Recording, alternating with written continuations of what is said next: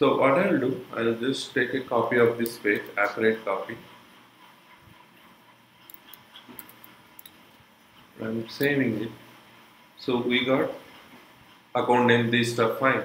So I need to have another section. Now I need to have another section page block. I need to have another section. Okay. Page block section title contact information.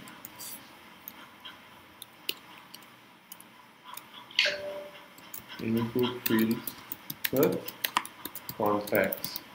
Now question is that I need to get my contact fields here so that I can able to save my record.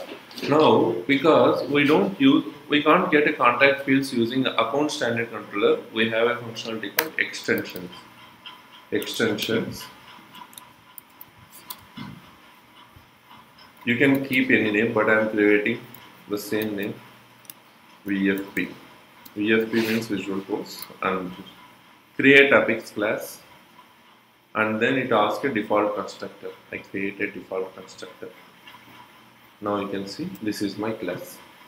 So if we want to use if we want to use any variable from Apex class to Visualforce you need to define a variable as a property. Public contact con you need to define a property. Get set.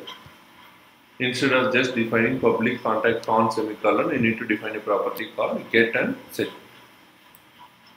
Now I also have account there. I need to get that record. Public account ACC get set how to get my how to get my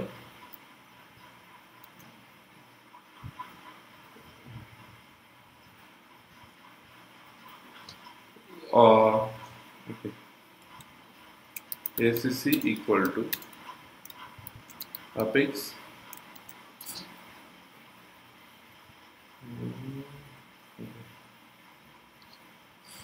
Pages dot current page.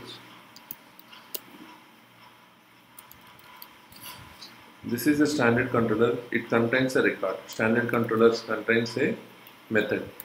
Dot get record